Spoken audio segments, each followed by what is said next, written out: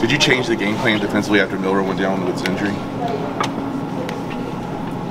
Went down with his injury. Like he went, you know, he, He went down. out for a play, right? Right. Did you feel like he was neutralized as a runner a little bit after that? No, I thought he was fine. And he came right back in one play later. Brad, what happened on some of those long touchdown passes where there, there wasn't really guys around the, the receivers? Yeah. Um, you know, some of the depth of the coverage, and, and listen, when those routes get that deep and that long, like you've got to affect the quarterback. Um, and you know, when you have got a dynamic runner like that, you try to you try to spy him. You know, but you got to be able to move him off his spot before the the spy can go hunt him. And we were able to move him off his spot. You know, we were successful in some of those third downs, but most times he was able to stay there, and then the spy was a little bit neutralized because you know you if you trigger too quick one side, he gets out. You know, um, and you know, and then you know, coverage-wise in the back end, we got to play with some more depth. We talked about it. We knew what kind of routes we were going to get, especially those down in distances. Um, you know, we jumped some stuff that was put in the front of our face and let some some other ones go over the top of us. Brad, they had given up 37 sacks this year. What wasn't working in the pass rush for you all to get to him?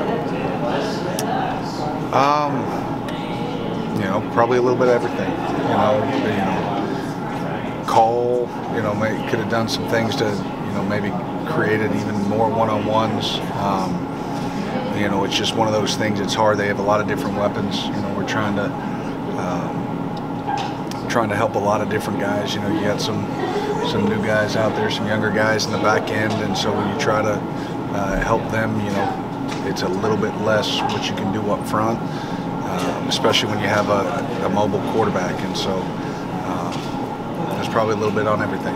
You know, play calls. You know, some guys probably thought they, you know, get some one-on-ones that they can win, um, but ultimately just not good enough.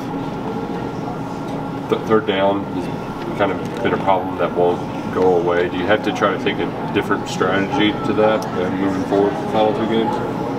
yeah, it's something we just have to continue to look at, you know, and it's